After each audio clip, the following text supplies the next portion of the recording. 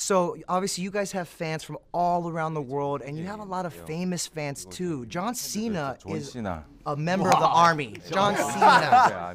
have you guys met him yet? Do you want to meet him? I mean, what's how you feel about that? Not yet. Not yet. Not yet. We, want to meet. Yeah, uh, we want to meet John. We've never met him. Like we, we met him just only on TV, like when we were like 10 or like 12 years old. Yeah. John Cena. Hey, he loves you guys. 어릴 때 팬이었는데. He's the best wrestler. John Cena, are you army? BTS, 나는 군대다.